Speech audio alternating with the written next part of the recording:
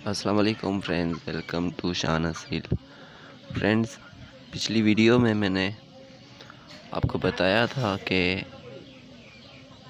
छोटे असीलों से ब्रीडिंग करवाने के क्या नुकसान होते हैं। आप चाहें तो वो वीडियो भी देख सकते हैं।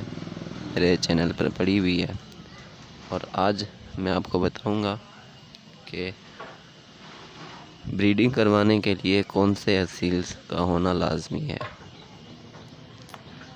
फ्रेंड्स सबसे पहले तो आपसे गुजारिश है कि अगर आप मेरे इस चैनल पर नए हैं तो जल्दी से सब्सक्राइब के बटन को दबाकर चैनल को सब्सक्राइब करें और साथ में घंटी का निशान है, उसको भी दबा के ऑल पर सेलेक्ट करें ताकि हमारी हर वीडियो आप तक पहुँचे। फ्रेंड्स, उसके अलावा मैं आपसे माज़रत करूँगा कि आज मेरा गला भी ख़राब है, लेकिन दिल बहुत किया कि आपके लिए वीडियो बनाऊँ। तो आपकी खिदमत में मैं हाज़िर हुआ। तो फ्रेंड चलते हैं टॉपिक की तरफ़। सबसे पहले तो आपको ये अपने जहन में नोट करना होगा कि अगर आप बेहतरीन नस्ल लेना चाहते हैं तो मुर्गी और मुर्गा दोनों बेहतरीन नस्ल के होने चाहिए। यानी कि वो लड़े हुए हों चिट्टे हों, किसी अच्छे शौकीन से लिए हुए हों खुडों से ना लिए हुए हों, उनकी लड़ाई आपने देखी भी हो। उसके बाद आपने ये नोट करना है कि अगर आपने मादी देखनी है तो छोटी, और उस छोटी मादी के साथ आपने बड़ा नर जो है वो लगाना है। और अगर आपके पास बड़ी मादी है तो उस बड़ी मादी के साथ आपने छोटा मुर्गा लगाना है। छोटे मुर्गे से मुराद ये नहीं है कि उम्र में छोटा होना चाहिए।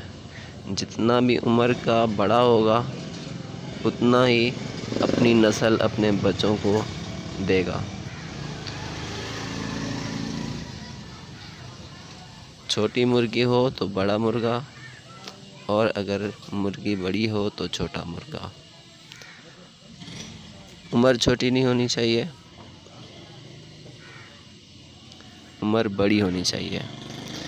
कद का आपने ख्याल रखना है कि बड़ा मुर्गा होगा और छोटी मुर्गी होगी तो उनके जो बच्चे निकलेंगे, वो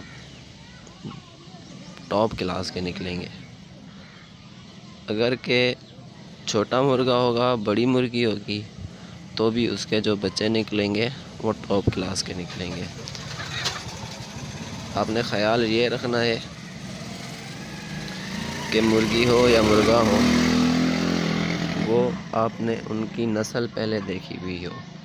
आपको पता हो कि ये हाई क्लास की नस्ल है। फिर आप ब्रीडिंग करवाएँ और इन बातों का ख्याल रखें। वीडियो अच्छी लगी हो तो वीडियो को लाइक ज़रूर कीजिएगा, चैनल को सब्सक्राइब कीजिए। मिलते हैं नेक्स्ट वीडियो में। लाभ